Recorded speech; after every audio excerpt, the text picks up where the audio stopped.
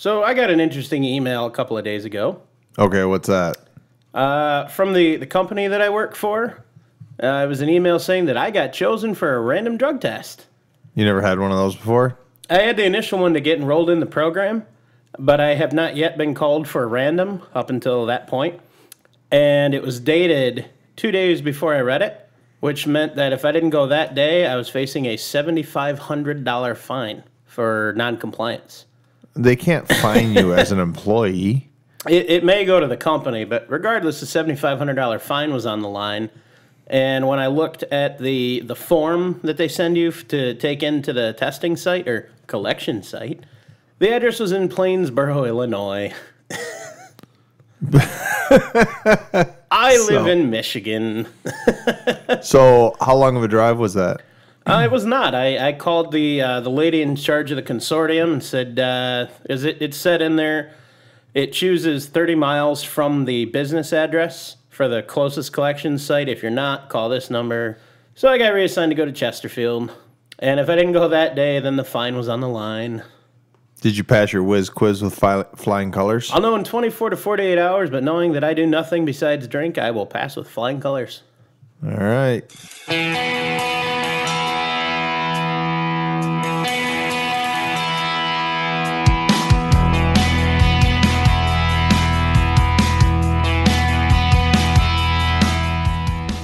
It's time to hit the trail, lock in those hubs, and throw it into low range. Because you are listening to Wheelin' with Keith and Johnny Orange, broadcasting from the Thin Line Off Road Studio. They're here to talk about 4x4s, trucks, and everything to do with enjoying the great outdoors. Buckle up. Here's your hosts, Keith and Johnny Orange. Dude, that was the weirdest intro ever. Yeah. Oh, well, that's the only update that I have. I'm sorry. There's no updates on Project XJ. Nah, it's pretty much about where it was. I had the week off, and then it took me the following week to kind of catch up with everything else I was behind on. so, unfortunately, nothing yet. Man, John, I I don't know. I, I've got a are you, you're gonna make the, a month. You have a month to weld in floors. Yeah. Get it running. Finish the front suspension, put the front end back together, mount the rear bumper, finish building the front bumper. paint it, do upholstery, repair all the rust. No, I'm only, I'm focusing on the driver's seat. I can do the other seats later. Oh, all right. I, I nothing on Project XJ. Well, I, I guess I guess I'm not one to talk. I mean, my Land Cruiser is still out there with a blown up rear axle, and uh, that that happened back in well, what was that February, March. Producer Andrew's nodding his head in agreement. Yeah, so. Uh, we've just both been really busy with all the podcasting stuff and our own, you know, day jobs and Yep. everything like that. And then, of course, owning the the off road company with me, it's just like, you know, So you have a better excuse than I do, at least. Well, I mean, no, I don't. It's like the plumber with leaky pipes, man. I just, you know, I suppose. I just don't work on my own stuff. I work on other people's, and yeah. but, um, yeah, you know, uh, uh, on our last episode there, we were talking about the, um, uh, you know, the manual transmission being dead now, and uh, unfortunately, or you know, dying a very quick death. Um, and then you know, we were doing a little research there after the show um, uh, you know, the question became, okay, well, what about like the medium duty trucks that, uh, you know, the sh- new Chevy Kodiak, which they're calling the Silverado cabin chassis truck. They're not even calling the Kodiak. We discovered uh, no manual there and no manual in the Ford 650 or Yeah, shame. 750. Yeah. And then uh, I'm going to read this sentence again to you to see how what you think of this Oh, sentence. don't, please. What? Oh, come on, man. This is. Go this- ahead. I, I that's oh, where. Let me see if I can find it here. Oh yeah, here we go. Uh, this is right from Ford's website. The Ford TorqShift HD six-speed automatic is specially designed. Oh no, no, no, I'm reading the wrong one. I'm sorry. I'm sorry. This is the wrong one. I, I am not reading it. You said some keywords, though. That just Yeah, yeah, yeah. I know, I know. Um, I read something else on the site that was a little while ago that was a little, I know, troublesome to Almost you. brought me to tears. Yeah, that was, uh, um, you know, just looking at. Oh, here we go. This is what it is. Ford medium duty trucks are designed to deliver power and performance for almost any job. There's the Ford built Power Stroke Turbo Diesel V8 teamed with the only transmission you'll ever need the Ford TorqShift six speed automatic. It's the- oh, John, it's the only transmission you'll ever need. You don't need Nah. any other transmission but the six speed automatic. I need anything but. Oh man, yeah, yeah. I'm just gonna just keep jibbing you keep on this. taunting me with I, that, aren't I you? am. I, you know, I'm a manual guy too. I'm gonna wake up but- in the middle of the night or early morning with just a picture of a torque converter or something from you, aren't I? oh, there you go. Yeah, just uh, Oh, why did I say that? yeah, torque. I didn't even know you had torque converter in your lexicon. I can speak the language. Oh, I don't okay. like the language, but I can speak You ever it. see that meme online? It shows the difference between automatic and manual. I don't know. It, shows the diagram of the transmission. You know, with the with a manual. You know, the people always switch them around, but I always love seeing what they say. Like the manual one, it's like crisp, clear shifts, and Yeah. then power, and then the automatic is like disappointment. yes. Yes. But I mean, in reality, there's lots of great automatics. But No. you know, it's no, it's it's just user preference. I mean, I no. I'm still There's manuals and then there's wrong. well, you know, I think with me and my my you know advancing age here that um, I'm okay with an automatic for my daily driver slash tow rig, but I still want on the trail. I want my manual. Yeah. and uh, that's the uh, you know that's the problem there. But I guess enough with the transmission talk. We've been Thank doing we have been doing this for like three episodes. Um, you know what I wanted to talk to uh, today a little bit. Um, well, you know, actually, Project XJ, man. Mm-hmm. Uh, let's talk about Project XJ for a second. Okay. Uh, you put a uh, lift kit in Project XJ, right? I did. And, and so It's not not exactly a kit. It's more a, a culmination of a lot of different stuff. It's like a homebrew setup. What Pretty about much. what about your other one? I think you call it Pegasus. Your uh, Yes. X, your TJ. Yep, it's got a, a four inch lift. It uh, also it's got a, a couple different brands of parts in it to compose of the lift. Okay. But yeah, it's it's got a four inch lift, uh, just using the stock short arm type setup, aftermarket arms, of course, uh, to correct the suspension angles or the geometry angles. But yeah, it's uh, I mean, I mean it works.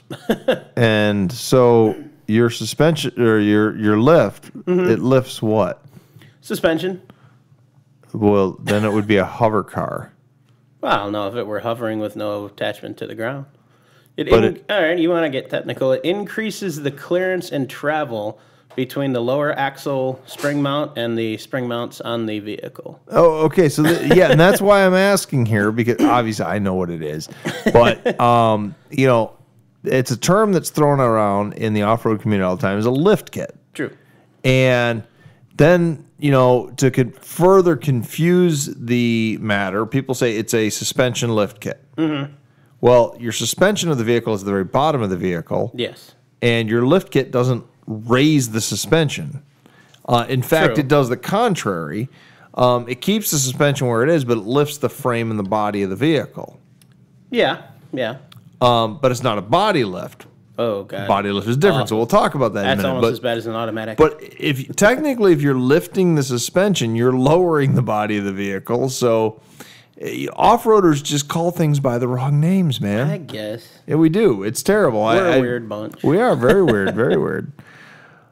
Um, so uh, you know, if you hear if you're a newbie, um, you know, you're probably not if you've if you're listening to this show, but if you're a newbie out there, um, a lift kit, like I just said, it lifts in some form or another, essentially the body of the vehicle, Yeah. and you know, Body John- or body frame. yeah. So why, John, would somebody want to lift the body or the body and frame of their vehicle? Mo- more clearance for the body itself. You can get bigger tires on there. Um, biggest thing, it increases your travel, suspension, and articulation. So well, you can, you that's can, ar- that's arguable though because I mean, you with your suspension, I mean, depends on the lift kit. true, true. If you just throw some pucks in there, your suspension stays the same as that it was. that that would be more of a uh, cosmetic type, like a body lift, so you can stuff bigger tires under there. Yeah. Yeah. So, um, you know, since there's so much confusion out there, and uh, why don't we talk about that today? Why don't we talk for about like you know different different look at so. Um, to start up, to go back to what you're talking about with Project XJ, you said you did kind of a combination Mm-hmm. of a few things, um, and you lifted that about how many inches? About four and a half, four and a half to five before the suspension settles out. Okay. So yeah, it uh, the rear we did an Add-A-Leaf type setup. Actually, we did what they call a bastard pack. So we took the a set of It's a springs. family show, John. Oh, that, that's the term. all right, all right. we we took a, a set of leaf springs that were pretty worn out from another vehicle, cut the eyes off, bolted it to the main leaf of that, and the increased arch and uh, spring rate from those springs gave it that extra lift. So that gave us about a five inch lift. I think it was in the rear is what it totaled out to. Fair enough. Fair enough. Um, and like you said, the the benefit of uh, lifting the structure of the vehicle is mainly um, tire clearance Typically, yeah. and and you know better ground clearance p- breakover point. Breakover point is the point at the middle of the vehicle where, like, let's say you're going over a rock or a log. Um, the higher you lift the center of the vehicle, the less chance it's going to get hung up on something off road. So you know, with a lift kit, you know you get you taking off on me. Nah, just shifting seats. Oh, okay. Um, with a lift kit, you're going to get many, many different options, many, many, many, many different brands, oh yeah. but there's still only a few ways to do this. So earlier you mentioned a body lift. Um, I know what it is. Why don't you explain to our listeners what a body lift is? So a body lift again is one of those more or less cosmetic type lifts. Uh, what it does is it takes the body mount locations on your frame and it adds height to them. You put a typically a spacer block or a larger bushing in there to lift the body off the frame. Uh, one of the main and, as far as I'm concerned, only advantages of that is you can get bigger tires in there.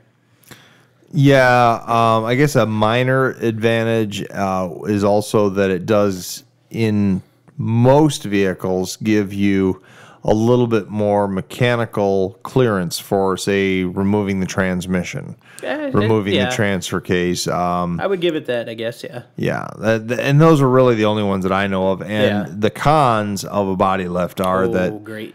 yeah, um, it- most vehicles were not meant to be set up on pucks like that. Especially if you get in that three inch range, one inch, maybe two inch, they're okay. But you start going three inch or higher on a body Yeah, lift. You're gonna really tweak your body mounts and the frame mounts for those.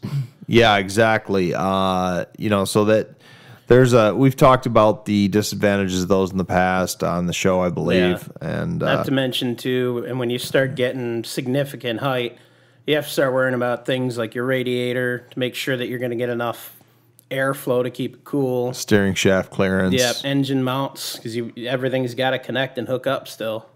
Engine mounts typically don't move the engine with a body lift, but um, Some of the higher ones they make them. Oh, I've seen them to to raise that back up, which is going to kind of restore Oh. a lot of the the short wire, short you know piping issues that you're going to have with that. Gotcha. Gotcha. Um, yeah, that's uh, so body lifts. The, the the advantage is really the Cosmetic. Uh, co- cosmetic larger tires. I don't think they look that great, I am not a fan at all. Um, the other advantage would be that they're incredibly cheap. I mean, you can buy Yeah. a body lift kit for under two hundred dollars for just about any body on Oh, frame yeah. vehicle.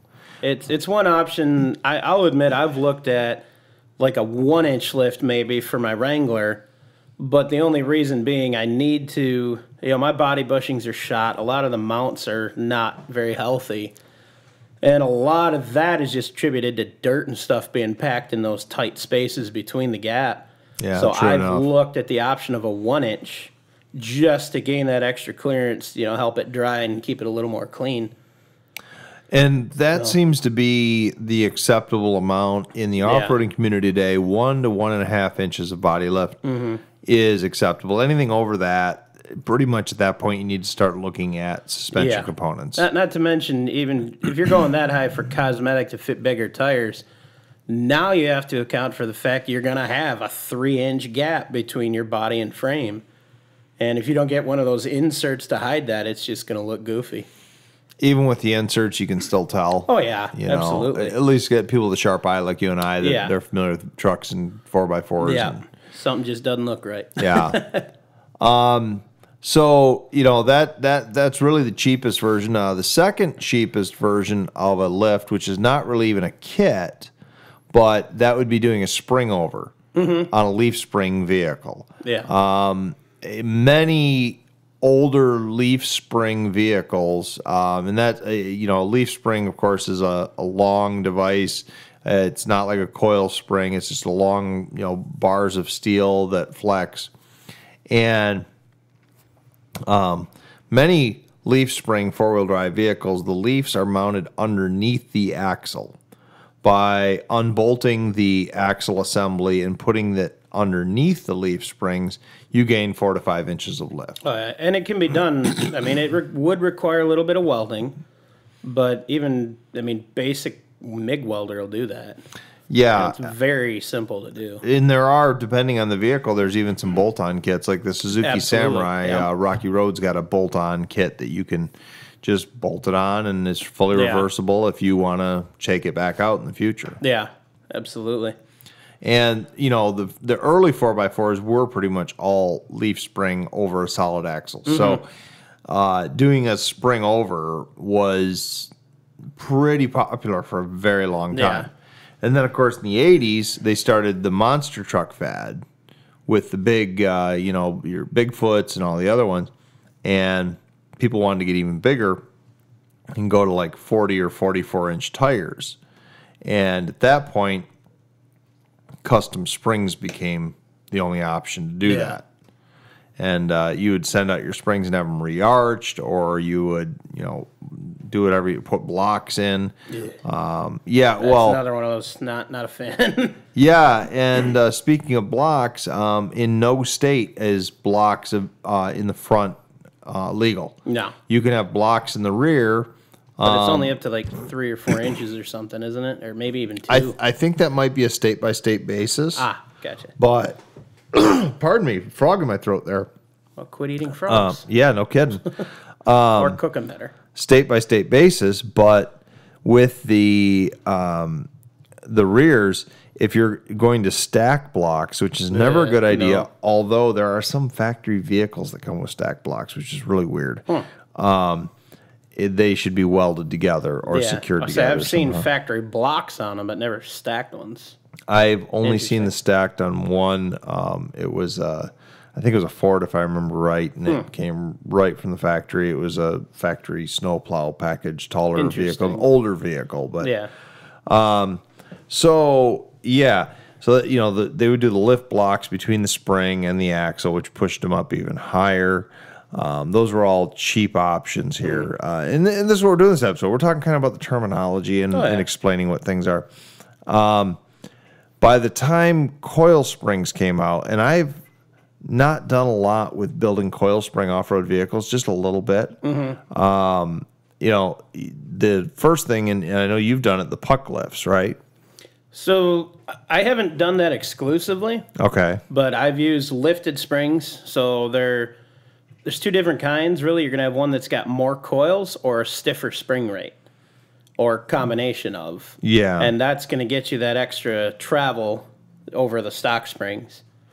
Pros and cons to that are going to be uh, the stiffer springs obviously going to ride stiffer, yeah. but if you're putting heavy things like a winch on there, Yeah. not a bad idea.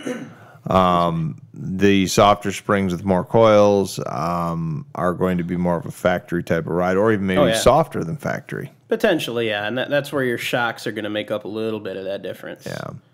Well, now that you mentioned shocks, um, if you are lifting via a some sort of suspension lift kit, um, you need to make sure that the kit either comes with shocks or shock mount relocation tabs, Absolutely.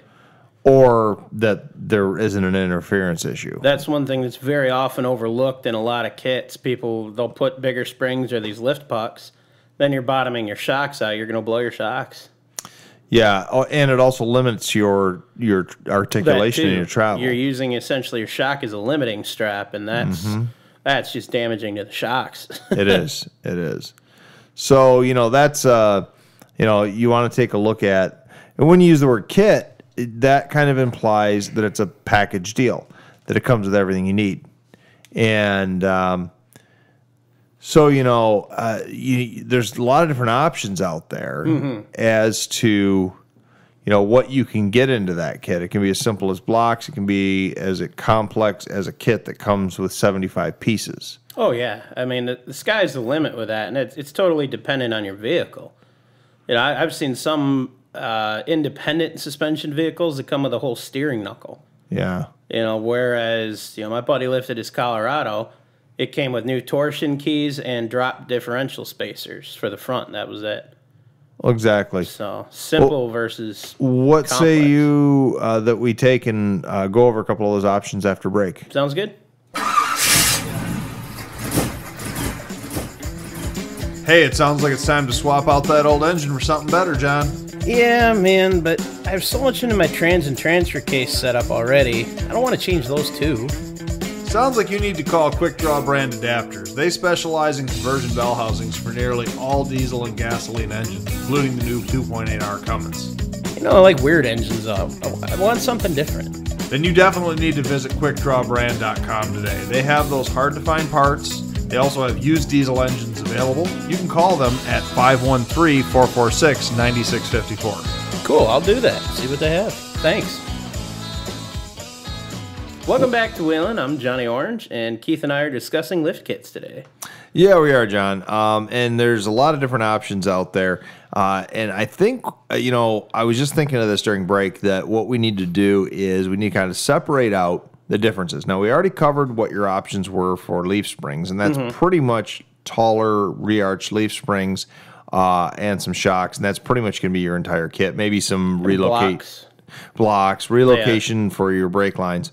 Um, where it gets more complicated is when you get into a vehicle that has coil springs um, at all four corners or Yeah. just the front. Um, I don't think there's any that have leafs in the front and coils in the rear. That'd be weird, but That would be. I've seen it on the trail in a homebrew rig. But Let's say I, I kind of want to do that now just because, but well, I, had I had a buddy who used to wheel a full size Chevy, and he put Ford radius arms with coil springs in the back, so he had nothing hanging out the back. So his departure angle was like 90 degrees. It was perfect. Yeah, it was nice. awesome. Um, but anyways, uh, you know, so if you've got a vehicle that has coil springs somewhere, whether it be in the front or the rear or all four corners, um, the difference, like John was saying earlier, is stretched leaf springs that have additional coils, um, or putting pucks on top of them that space out the difference between the coil spring and where it mounts on the frame of the vehicle. So, um, and then John, you actually have more experience in this than I do because I've been almost exclusively a leaf spring guy, and then the few coil spring uh, four x fours that I've had, I've pretty much stuck stuck to stock components. gotcha. Um, or you know, I've helped a few buddies build some pretty crazy stuff too. But um, I know you went with a long arm kit, was it? So I- I've got two different types of uh, between my two Jeeps, my two wheelable Jeeps. I've got two different setups with that. Yeah. Um, the Project XJ has what's it, it's not really a long arm, but it's a long arm style lift. Uh, I'd, I'd call them mid arms. So it actually there's a whole subframe kit that actually bolts to the unibody or uniframe on the front that drops the mount location and gets me back to a stock size or stock um, angle control arms for that. So this would be um, essentially putting longer control arms. Exactly. Yeah, Yeah. It, it's gonna it's gonna move the locations. Once you lift it, it's, it's kind of weird to explain it, but when you lift a coil or you put more coils in, you're actually extending your lower control arms and your upper arms. What that's gonna do is cause your axle to roll. So to correct Your caster's going to be off Yes. then. Yeah. Yep. And your your at ride height, it's going to be more angle on your U joints too. So one of the ways to correct that a little bit is a longer lower control arm. That's going to correct the angle, push that back out to correct your pinion angles. And you're saying control arms, these are the mounts that mount the Yeah. axle to the frame of the You'll, vehicle. you'll hear them a lot. They're called four link. Yep. So what that is, there's two upper control arms and two lower control arms that actually hook that axle to the body. That's what allows it to flex and move as you're driving. And the longer your lower control arms are, the more um, aggressive your caster becomes on the Yes. axle, and right, in yeah. in reverse, the shorter that the uppers are, the more um, you know, the less caster it has. So basically, um, when you're setting up, say, a custom tube buggy or some sort of build, the uh, gold standard for your caster in degrees, I know off the top of the uh, inner C's on the axle, is somewhere between four and nine degrees. And that is pretty much where all of the factory built four wheel drive vehicles are. I never got into it to that degree. Well, but here's Yeah. Oh, that's important to know yeah, because you can buy like an angle finder, Mm-hmm. and you should fi- you find out that the best way to get a stock ride out of your lift kit vehicle is to check what the angle is on top of the inner C's of your axle in the Mm-hmm. front. Figure out what that angle is in stock form before you lift it, and then duplicate that with your lift kit yeah. you know and so that's uh, you know that's very important to do that and it gets you you know that kind of like stock ride you know a lot of people get that jeep death wobble Yeah. it's because the caster of the vehicle is set off Yeah. Uh, you know it's, it's it's just set wrong Crazy when you get into that how many different things can affect that too. That that's the annoying thing. I've only experienced that twice in my life. And it scared me to death. oh really Going about 60 miles an hour, hit a bump, and it just, whoa, buddy. yeah Not cool. Yeah no it's yeah I, i've had it too as well and it, Yeah. you, you go down the road and all of a sudden starts shaking back and forth on you Oh, you feel like you're going to die. yeah the that's death wobble yes yeah. So um, let's say somebody has a vehicle that um, doesn't have coil springs, doesn't have leaf springs, at least one, at least one drive axle, and um, instead they have independent front suspension or independent rear suspension. They want to lift it. What are their options? I mean, without getting to all the brands of lift kits out there, what are their options for lifting an independent suspension vehicle? So there's, I'm not terribly familiar with all the options available for that. There's some that um, it, it's a spacer that you bolt in. Some of them will have a replacement knuckle that is just it's longer on the top, so it, it gives you that increased height with the taller knuckle, pushes that tire down. Yeah, um, and that's exactly right. That they they offer different types of IFS and IRS lift kits, and typically, if you're staying in that three inches or less range, you can extend out um, the front coils or coilovers, whatever struts, longer struts, struts. Yep, Yep. wh- what that happens to be on there.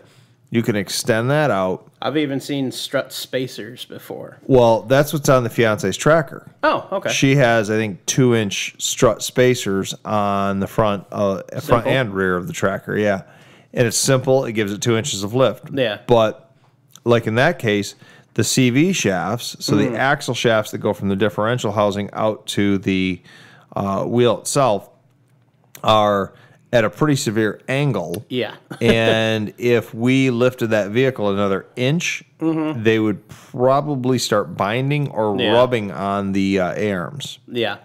So we, you know, we're kind of keeping it where it is right now. Mm-hmm. Um, but that's just, uh, you know, one of the disadvantages of doing that. Yeah. Um, now the more, exp- but they're cheaper. Yeah. Oh, yeah. More expensive way to lift IFS or IRS is to buy a full kit that drops the center differential housing Yes. lower. I've seen that. They'll have a new K member on some of them, on the really extreme ones, anyways. Yeah, that's exactly right. Yeah. They and spacers. yeah, and spacers and a lot of them require permanent modifications to the truck that are not easily reversible, such as cutting off factory weld brackets, Yeah. cutting off various things on the frame. So, um, a suspension lift kit for an IFS vehicle is typically not very cheap to get a quality one. Yeah. And so that's something to consider if you're thinking about buying a, a truck or an SUV and you're on a tight budget, but you still want to lift it or something. Um, might want to look for something that's a little more archaic, Yeah. something with solid axles, you know, something See, like that, that. that's something too, like the, the Colorado I mentioned. Yeah, So if you tweak the stock arm, or not the, I just forgot what they're called. The uh, torsion bars. Yes, the torsion keys. You a lot of those you can actually just tighten the torsion keys up. Yeah. You're putting those bars under a lot more strain that way, but you're gonna get more of an appearance lift. The aftermarket keys actually give you that extra travel and a much more solid and beefy arm. Yeah, that's true. So if, if it's more cosmetic you're going for, you may have an option for your vehicle to do something like that. Or if you want to put a little bit of money in it, get a much better quality part, you know, that's the way to go.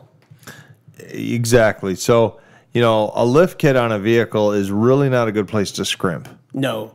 Um, no, this is the direct suspension. This is what Life and death. yeah, I mean your your axles, your drive train is hooked to the body. You use cheap parts on that. You may wish you hadn't done that. yeah, and you know that's that's something to think about too. Uh, we currently do not have a sponsor for a lift kit company. We'd love to have one. There's Absolutely. there's many of them out there, oh yeah. But um, years ago, and this might be before your time, John. And I'm not going to name names, but there was an out west. There was a custom um, off-road shop that was building custom suspensions, uh, a lot of them for IFS vehicles, and then they were also building uh, tube chassis for rock crawlers. Well, um, they were doing um, these real pretty um, cosmetic welds Oh. that had no penetration. They were doing the stacked dime, but the fake way by Ouch. just hitting it a piece at a time Yeah. and um, you know they had people's suspensions that were literally falling apart on the trail because all the welds were cracking. Yeah. And I, I'm I'm sure that company learned their lesson, but I hope. yeah, that's uh, you know look at the history of the company you're dealing with. Look Yeah. at the quality of the product that they're offering, yeah. and there's several that have been out there for a long time. Oh yeah. So we talked about how lifting your solid axle, your IFS. Um, well, what other type of suspensions would you lift? Is that about it? There's uh, what is it? The radius arm. oh, yeah, good, good Yeah, point. that- good point. I don't know much about those and the. Can't remember what it's called now. Okay, I'll, I'll get back to that in a minute. radius arms uh, uh, have two mounting points: one on the driver's side and the passenger side of the vehicle, singular. Um, that go back towards uh, almost the middle of the frame, maybe not that far back, and then typically they have coil springs that are holding, of course, the vehicle up, and then the you know between the axle and the vehicle and that's a uh, that's how radius arm works. Very very simple setup, and you know it's something that uh, has been around for a very long time. Yeah. Um, the only disadvantage to radius arms is they don't tend to offer the same amount of flex that say a four link or even a three link setup would Yeah. be. And when you're talking about a four link or a three link in the suspension world and in the off road world, like a four link means that um, you have four points of contact that are going to the axle from the frame of the vehicle. So many different designs out there. Uh, you've got your, uh, like I said, there, there's custom three links, one links. There, you could talk for hours on suspension design, but we're Oh, kind of talking yeah. about the lift kits. Oh yeah, just generic. I still can't remember what the other name is for the one. I'm trying to look it up, but can't find The, it. the generic or the other, the name for the other what that you're trying to think of? Uh, isn't there? There's another type of suspension. I think it's on like the Broncos. It's like a, a split axle kind of thing. Oh, the twin traction beam. Yes, thank you. TTB. Yeah, the TTB front end. So yes, the, the driving me nuts. Yeah, uh, 80 to 96, the Ford Bronco had the TTB front end. Uh, so did the F 150, F 250. I know nothing about that other than it looks really complicated. It's not that complicated. Essentially, what they did is they took a um, solid axle, split it in half, put put a U joint in the middle of it, and it allows the entire assembly to flex. It, it's it's an okay setup. Works all right off road. It's not a great setup, but it works all right. Um, it actually has become a popular setup for some sand dune racers okay. um, because they can make long travel suspensions with them oh, nice. um, using some modern technology. Oh, yeah, of course. Coilovers and things like that. So, um, yeah, so those, those, if you have a TTB truck, which is specifically going to be a Ford truck, in the uh, 80s, early 90s. That the easiest way to lift that is going to also be with um, lifted or re-arch springs or a um, blocks, you know, for the rear and then for the front. Um, there are there may be some kits available, but uh, those are they're pretty obsolete trucks at this point. So I don't know if there's anybody else offering um, any sort of high Say, tech. I'm not familiar with it. I just I know I've seen it and not a whole lot of information about stuff for them. Yeah. Well, you know, there's just there's so many different types of um, suspension under vehicles. Uh, Oh, you even have what's called uh, like in the back of the Durango, you have what's called a Watts linkage, which is uh, yeah, the PT Cruisers have those. yeah, Or it's a compl- crank or something or other. Yeah, it's a complicated suspension setup. Um, not real common in the off-road world. It would be interesting to see a lifted PT Cruiser on a trail, though. I've seen it. Really? Yeah, I think it was sitting on a blazer frame or something. Oh well, that doesn't count. well, all right. Um, speaking of things that are counting, um, we are counting down to our break time. So let's take a quick break, John, and then we'll be back in a second. Sounds good. It's cute when Rover shakes a paw for you. Good boy. And when he rolls over on command. That's it, buddy. But when he brings in fleas and ticks from the outside, Rover. Not so much. Rover can't help what time of year it is, but ABC Home and Commercial Services can. They're the best in pets, so give them a call and they'll come around and treat your yard. ABC Home and Commercial Services, 810 794 5678. Online at abcbees.com. All right, John. So um, the different types of lift kits that are out there, um, as we talked, we got blocks, we got coil spacers, uh, independent suspension lift kits where you take in. Um, there's a maybe a multitude of brackets. Uh, one of the disadvantages to IFS, uh, there's many for an off-road vehicle, but one of the disadvantages for lifting an IFS vehicle is many of the vehicles um, or the lift kits available for modern IFS and even IRS vehicles require you to cut various tabs and brackets off the Yep. frame. So it is a one and done thing. Yep. You modify it, it's not going to be taken back out and Yeah. go back to stock. Um, and you know that's about as high tech as you get with the stock stuff. Now, Mm-hmm. beyond that, um, and really they deserve their own mentions and episodes eventually in the future. But uh, you can get into custom crazy suspensions Oh, that yeah. have nitrogen charged coilovers, and Mm-hmm. um, those are all kits you can buy. Yeah, some of those crazy long arm kits and stuff. Yeah. That that we could probably most definitely do a whole episode on with that. Just the long arms and three link versus four link. I tend to agree with you. Yeah. I, I guess ending kind of our lift kit, just little foray into what kind of lift kits are and what they mean, um, would be a caution to young folks getting into the hobby. Um, for some reason, the belief has been amongst many of them that that's what you have to do to be cool in the 4x4 world is Oh. lift your vehicle. Um, ideally, if you're a hardcore wheeler, you want to keep the center of gravity as low as possible Yeah. on your rig with the largest tire possible, which might mean cutting the tire, cutting the fenders to fit the tires. And um, doing that is, you know, you might only lift your vehicle a couple of inches. Um, in my opinion, and doesn't mean it's right, but um, somebody that goes and spends, you know, four thousand dollars on a super custom lift kit for their Chevy truck because they've got IFS and it's very complicated, and then turns around and puts basically stock size tires and wheels on it and drives it around, looks pretty goofy. Sometimes, yeah. Yeah, uh, it's More often than not. yeah, so there's, you know, you can make some pretty decent looking um, custom vehicles, but keep in mind that your lift kit needs to kind of match what your tire needs and wants Yeah. are. The I, I suppose we should back up one quick step here. Okay. Probably the most important question to ask when you're looking to lift your vehicle: Are you going to still drive this daily, or is this going to be an off-road only rig? That is a very important question. Why is it so important, John? Well, it opens up the amount of options. If you're going to still drive it on the road, you're not going to want to go as crazy. You know, if you're going off road only, I know guys that have cut the inner fenders out, the tires come right up in the vehicle.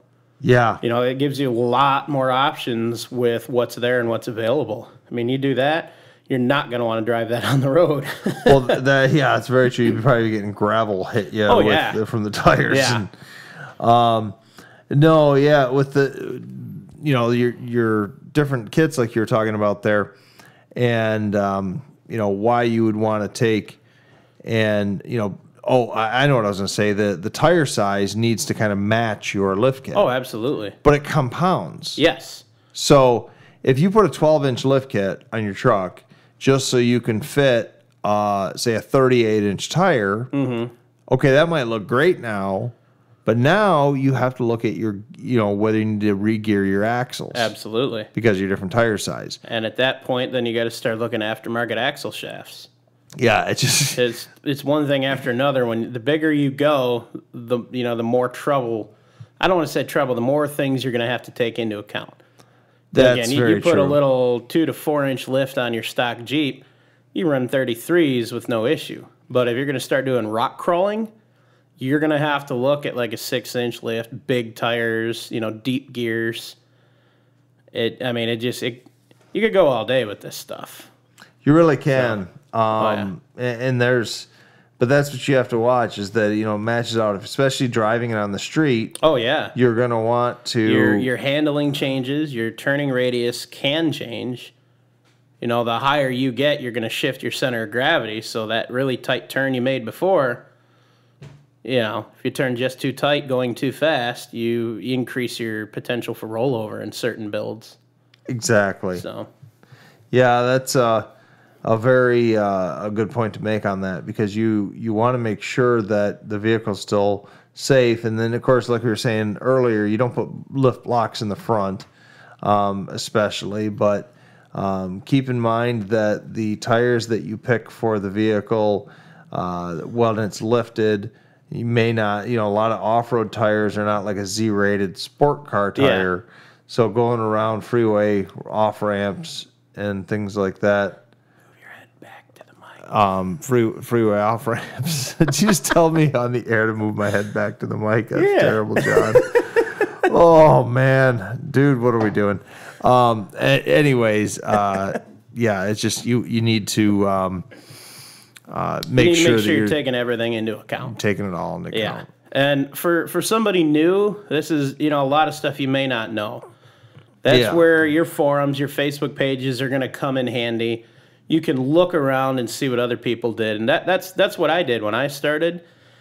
I did all kinds of research on these kits. I looked at all kinds of build pictures people did, build threads, you know, of what you know similar things I wanted to do and I just you know did the research and looked at the parts and figured out myself and you know talking with you other people on some of the forums what was best and that's what I got for now you Yeah, know, ask what my goals are. around. absolutely Kind, kind of figure out what is going to be best for Yeah. you know for you know your setup. Yeah. You, you know, if you've got a, a smaller rig that can do great on 31s or 32s, you you, you may only need a couple inches Oh, yeah. lift. I, I know a guy uh, he had a so it's a Toyota it's a built Toyota he did the same engine swap that I did and I believe he was running 35s on that truck How much lift was you running on it? Uh, five inches, I want to say, maybe. I don't remember off the top of my head, but very capable vehicle. I mean, he's going to some of these off road parks, doing some of the rock crawling trails, going up against these $30,000 rock buggies. I mean, he's tearing some of his suspension up. Just, he didn't have the articulation, but he was able to do most of it. I mean, he kept Very, up very with these guys. These guys are dumping 30 grand into it. He dumped like four or five. That's awesome. Oh yeah, absolutely. That that you know that's And he still drove it daily. you don't have to put a ton of money into No, these things. no, you can. There's another. So it's not really a kit. It's not really branded. Uh, the term you might hear junkyard lift. Yeah. Oh, absolutely. No, that's that's something that requires a tremendous amount of research sometimes. But again, you go to forums, you find what other people did. You know, I'll throw an example out there, like the the Grand Cherokee, uh, the ZJ Grand Cherokee. yeah. You can take those coils, put them in the front of a, an XJ Cherokee, and uh, you'll get an inch of lift or two inches of lift out of that. And that's about the same with the TJs as well. So I think you Okay. get a little less with the TJs. So the, 'cause Z, it's the. ZJs offer. Yeah. So Um, if, if you've got a local junkyard or you know a, a parts pull or U pull type place, you can do a budget lift using junkyard parts. Hey, you know, not to interrupt you there, but that actually kind of reminds me. Um, I had a trivia question of mine regarding the ZJ Cherokee. Okay, sounds good. What do you want to give them? Uh, well, we'll we'll keep with our decal thing for now. Sounds good. Uh, how many decals? how about how about we do um, a wheel and sticker and a thin line off road? I'm all out of the thin line. out. A t-shirt. Okay. I'll get, I'll, we'll do a wheel wheel and decal. Well, so we're gonna only have one winner here: wheel and decal and a thin line off road T-shirt. Sounds good. Um, we will rant pick from the correct answers if we have more than one on. Want to do four by four talk? yeah, sounds good. All right. So if you haven't joined 4x4 Talk on Facebook, go ahead and do that. Uh, here's the question, and it is it's another Jeep one. I know we had a Jeep question last week. We're going to do another one this week.